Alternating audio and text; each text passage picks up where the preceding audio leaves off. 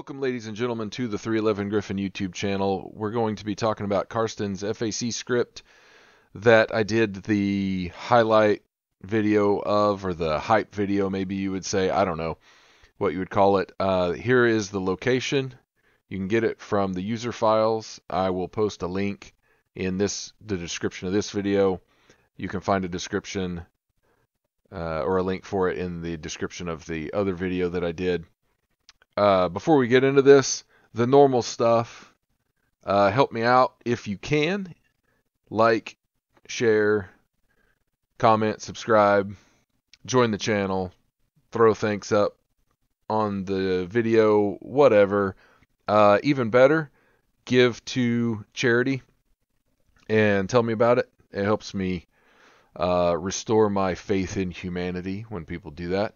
Also, if you haven't, check out this channel formerly known as Douglas Wrangle. Great channel, kind of casual, more relaxed missions, but really fun to watch. A lot of good stuff there, uh, a lot of content as well, and uh, I just enjoy watching his videos. Um, they're just kind of cool to watch. So uh, back here, you're going to download this. We're just going to talk about how to utilize this script. You're going to download it.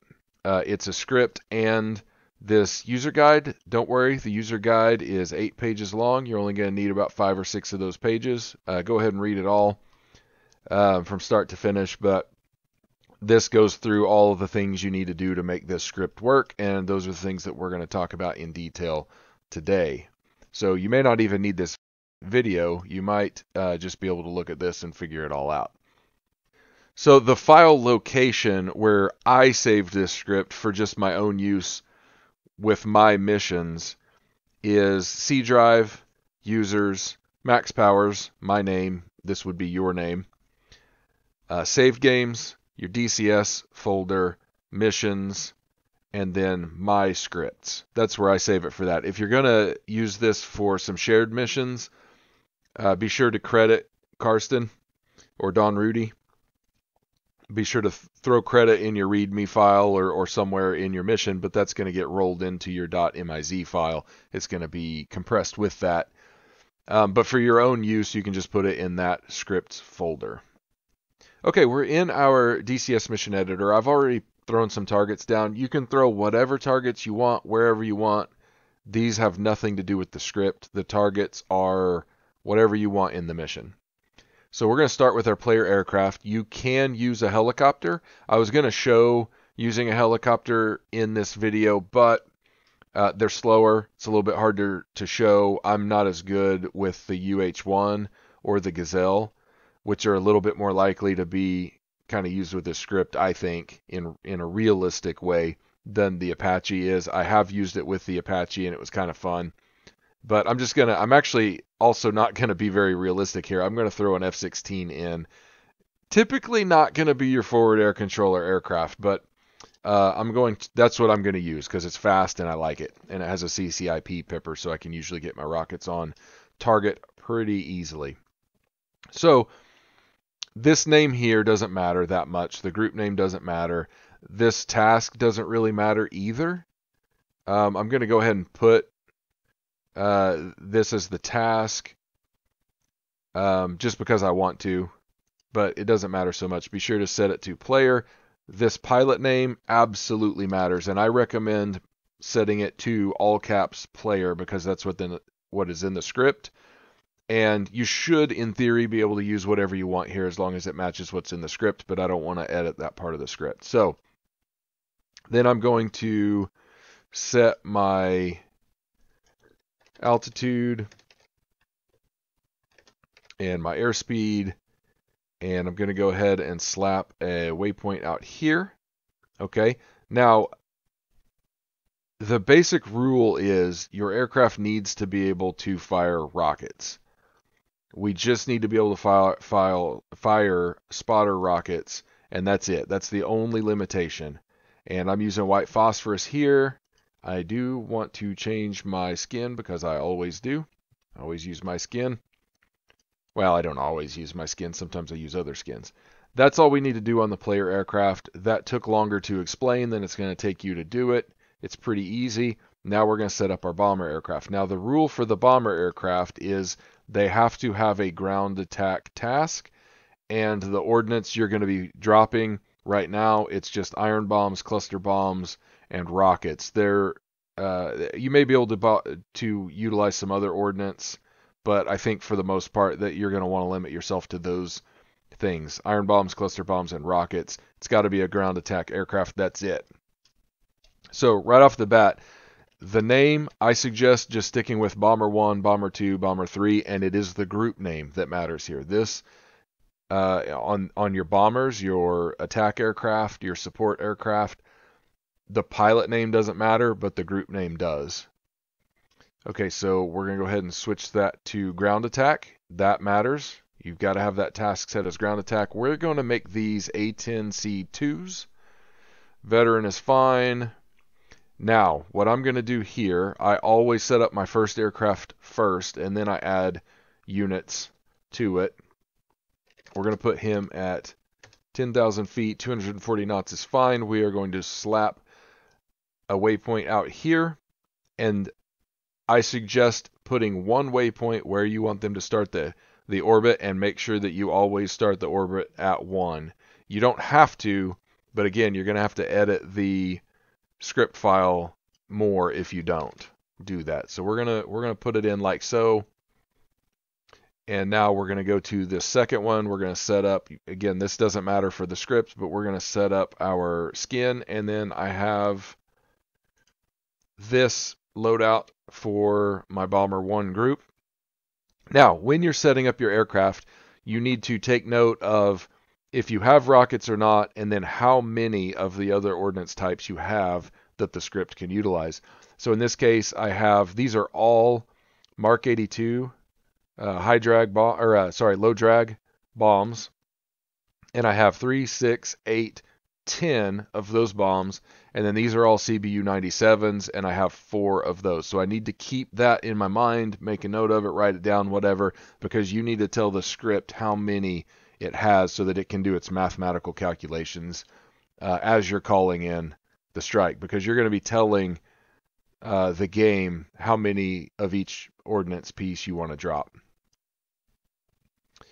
Uh, okay, that's all we need to do in here. So now I can come back out here. This is completely set up. I want to add two aircraft.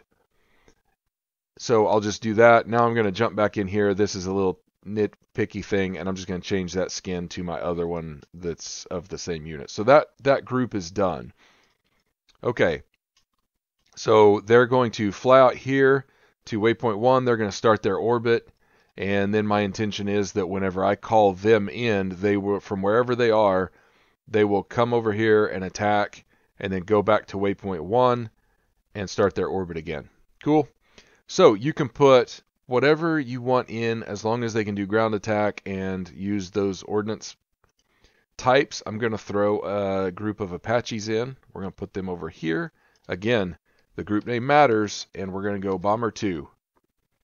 So, uh, best uh, best use here or the uh, best practice is to name your first group bomber 1, second group bomber 2, third group bomber 3, and so on and so forth. I would also recommend you utilizing the same type of planes and loadouts for bomber if, between missions. So if I go to set up another mission, um, I would want to use A10s with this loadout for bomber 1 and AH-64s with the loadout I'm about to set up as Bomber 2. You don't have to do that. It just means you have to uh, you don't have to edit the script as much. And what I plan on doing is setting up a few kind of mission templates and then creating a different script with a unique name that tells me what it's for for each of those mission templates. That way I've got I just call up the right script for the aircraft that I have in the air, if that makes sense. It takes a lot of organization up front, but it just means that you don't have to edit the script later on. Um, you might find it easier just to edit the script every time you make a mission, but um, I just have that one script right now, so uh, so I don't really want to do it that way. But anyway, we've got Bomber 2. We need to change this to ground attack, and all of that is okay. I want him to be pretty low. We're going to make him, let's just say 300 feet and I want him to be going 60 knots. I'm going to switch this back. Uh, okay. So again, we're going to, whoops, uh, there we go.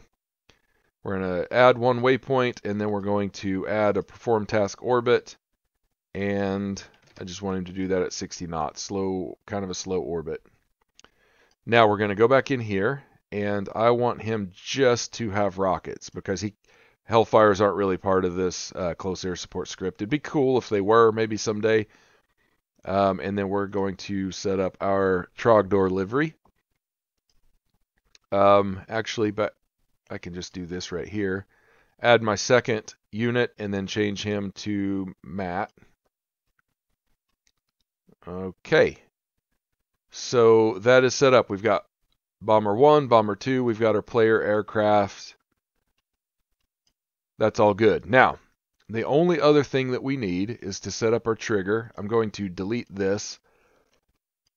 We're going to start it from scratch. It's a once, no event trigger. Best practice, always, to name these. Always name your scripts. And then I, depending on what kind of script they are, I have my own kind of internal uh, coloring scheme to help. Once I get a lot of scripts in here, I will, it's easier to pick them apart. In theory, you can leave this blank, but it's going to try to load the script at the beginning of the mission while it's loading everything else. So best practice again to do time more and then put 3, 5, 10, something like that in here. It's going to wait that many seconds before it tries to load this file. We're going to say do script file. And again, here's my save location. C, users, max power, save games, open beta, missions, my scripts. We're going to load that up. Okay, now save the mission. Now let's jump back out and we're going to look at the script file. Okay, so here's the script file. Again, he's done a very good job with this. It's very helpful. We've got a lot of commented out sections with descriptions of what you need to do and how you need to do it. The first block that we're going to mess with is this. Because we named our player aircraft player, we don't have to adjust that. You can you can make this whatever you want it to be anything at all, this is going to show up in your radio communications that the script uh, generates for us. Um, then down here we have Bomber 1, and this is why I say make them Bomber 1, Bomber 2. Um, let's say that this said uh,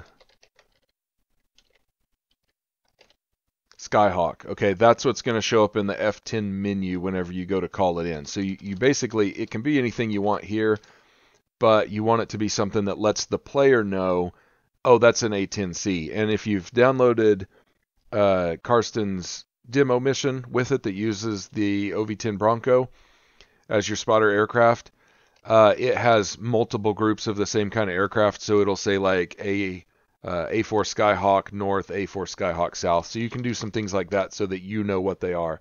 But this is this is very important. This is very important. Those have to be the correct values. This can be whatever you want. And then, like we discussed uh, in the mission editor, I had 10 iron bombs. I have four cluster bombs. If this had a 2 in it, I would want to come in and change it to 0. If this was full for rockets, I would want this tells the script uh, that I have rockets on that plane, but I don't, so I need to change that back to nil for no rockets. This can be whatever you want. This is that waypoint. So if I put in two waypoints before I started my orbit, I would need to change that to two so that the game would know or the script would know to send the plane back to waypoint 2 to start the orbit after it does its attack run. So I used to have F-14s in here. That's what I was using for my second bomber group, but now I have AH-64Ds. Again, this field doesn't matter. It's just what pops up in the F10 menu. And because I don't have any bombs, uh, iron bombs, cluster bombs, fire bombs, those are all set to zero. Rockets are set to full. Um, this can be whatever you want. This is uh, this is what comes up in the radio chatter. This is what comes up in the radio menu, and then waypoint one again. So um, I meant to have I meant to go through this and actually edit it, but because I'd already had it set up, that is what it is. If you want to add more, um, units, more bomber units, then you just basically copy that and then paste it in. And I like to put a space. I like to keep all of this neat and tidy, so I put another space in there. Um, and then you could change this to whatever you want. So let's let's do this. Let's put a third group in there, and we're going to call it Bomber 3, Bomber 3. And we're going to make these. Uh, we'll make them F-18s. So we're going to say FA-18C, and we're going to give them. Uh, we're going to give them, let's say, four iron bombs, and I don't remember if we can do cluster bombs. We'll just give them four iron bombs, just for fun. And I'm going to name them, um, I'm just going to call this Gomer Pyle, just for fun. Okay, so that all looks good. So now I just have to remember that I gave them four iron bombs. We're going to save that and we're going to go back in and just add that group in and then play the mission. So we've just got to remember four iron bombs and it's bomber 3, waypoint 1. That's all we've got to know. Okay, so let's come over here and we're going to call this bomber 3, obviously. You guys get it. Change this to ground attack again. Change this to FA-18C. I'm going to put him at 18,000 feet over Damascus. Add a waypoint there. Add, perform task, orbit. 350. Let's come into here once again. I've got lots of these. We're going to make him this guy. Oh yeah, we're gonna give him we're gonna give him some bigger bombs, I think. Ground attack. So we'll just build us a new payload. And you know, I want him to be able to defend himself, so we'll give him a couple of AIM 9Xs. And then here we want bombs, and I want a single. Oh, yeah, let's give him one of these.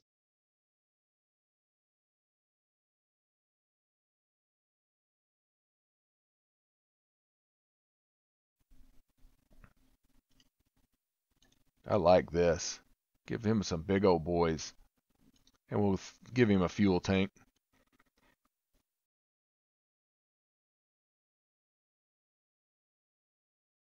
Okay, so we'll make a second one, and we will change this second one to Warlock's skin. There we go. That looks mean. And that should be all we have to do, right?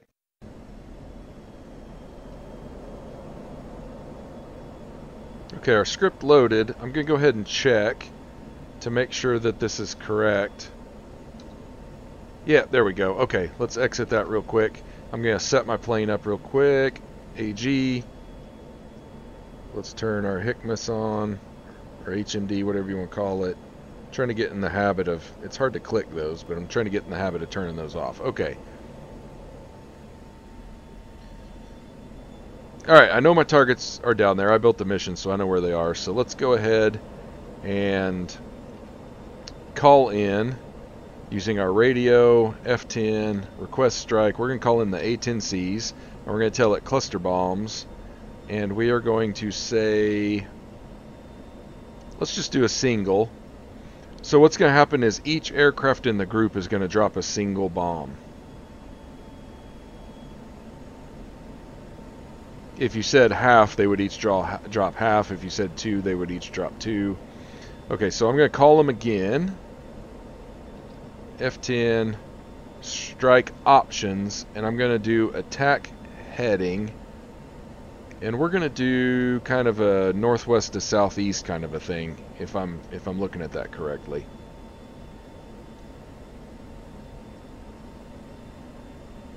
Okay, so now they are ready for a rocket. I want to make sure that I'm on single.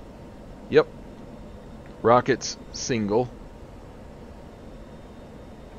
And our targets are right down there.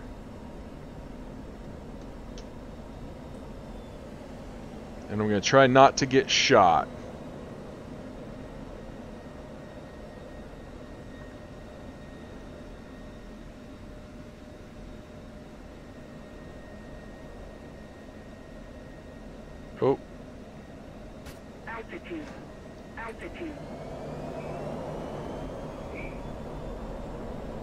Got shot anyway. Smoke's on the correct location. That's good.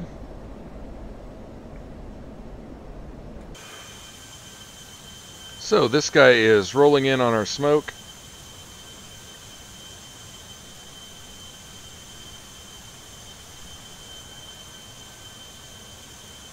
And his buddy's up in front of him.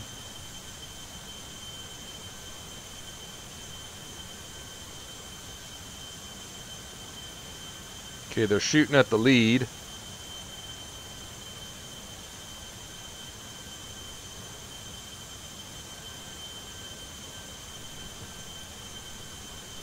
So his his bomb should be away.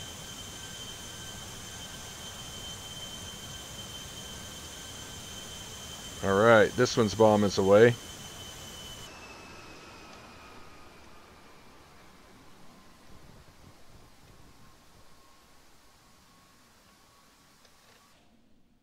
All right, we see a lot of a lot of skeets going down there, or the parachute ordnance, whatever you call those. Nice.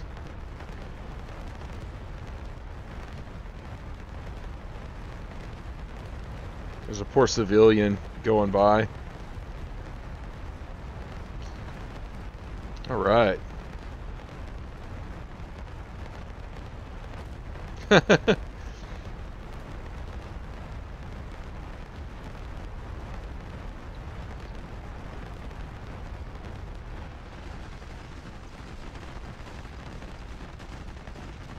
uh, basically, once once that attack run is done, you can just call all whoever you want in again. You could call these guys in, have them drop um, another cluster bomb.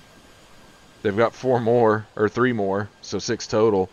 Uh, you can have them drop those iron bombs. You could have your F-18s come in and drop those big boys.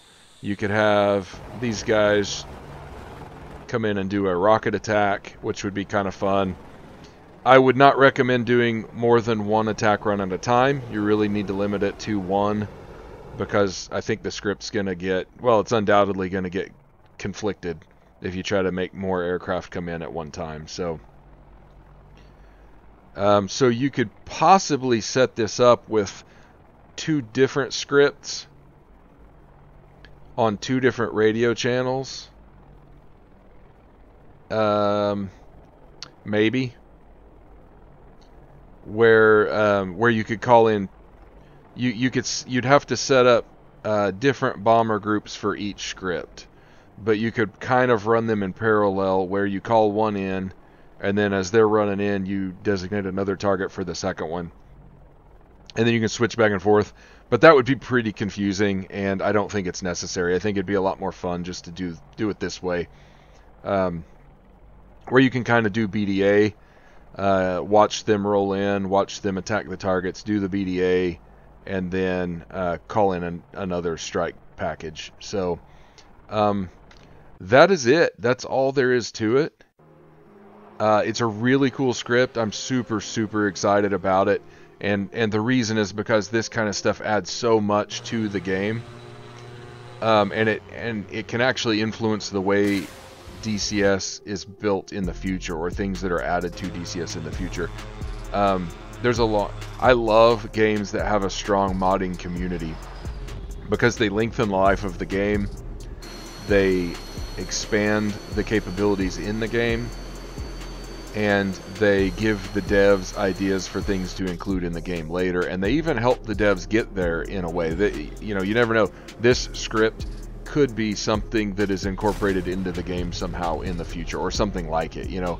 Uh, there's a very real possibility for that. So this kind of stuff really expands the game and makes it better for everyone in the community. So go check it out. Um, uh, support Carsten and, and modders uh, scripters mission builders like him. Uh, there's so many out there in the community. Support them, when and where you can, and enjoy the game. Uh, I hope this was helpful. Happy flying. Thank you.